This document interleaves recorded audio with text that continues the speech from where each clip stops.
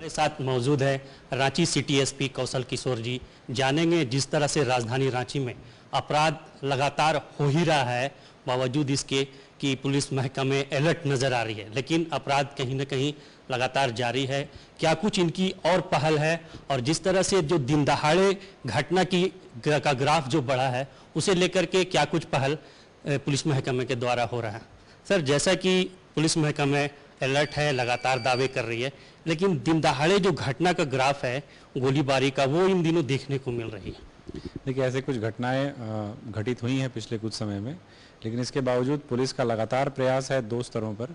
सर्वप्रथम तो ऐसी घटनाओं को होने ही नहीं दिया जाए, जिसके लिए लगातार पेट्रोलिंग सुनिश्चित किए गए हैं, जो 30 पीसीआर पूरे शहर में घूम रहे हैं और लगभग 50 टाइगर मोबाइल लगाए गए हैं इसके लिए। इसके अलावा थाना पेट्रोलिंग को भी लगातार इस मामले में सतर्क किया गया है। एज ए सी एसपी आपने राजधानी रांची में समय देखा है और यहाँ का अपराध भी देखा है।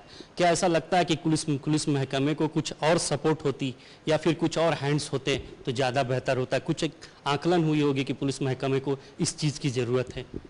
नहीं, मुझे लगता है कि जिस प्रकार के संसाधन राजधानी होने के कारण रांची पुलिस को उपलब्ध कराए गए हैं उतने के आधार पर बेहतर परिणाम दिए जा सकते हैं और जो रांची पुलिस ने दिए भी हैं।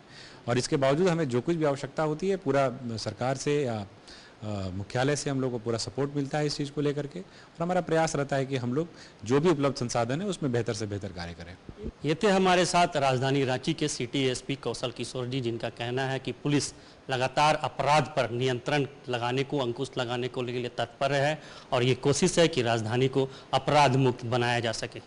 सहयोगी नूतन के साथ रफ़ी समी एपीएन रांची।